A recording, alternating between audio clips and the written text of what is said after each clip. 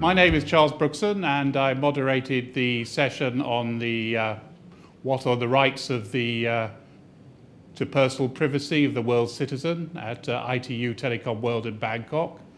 And uh, we reached some certain fundamental conclusions during our discussions. Uh, the first one is at the moment the uh, individual seems to have no rights, but that needed to change. The other one was that trust was certainly required between uh, um, the individual and the various organizations and governments involved. And uh, this trust should be in the terms of very clear language.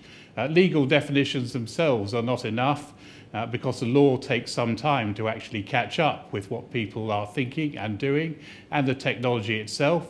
So the most important thing was to establish a framework uh, where people could feel the openness and the trust and the trustability of what was going on with their data when they provided it.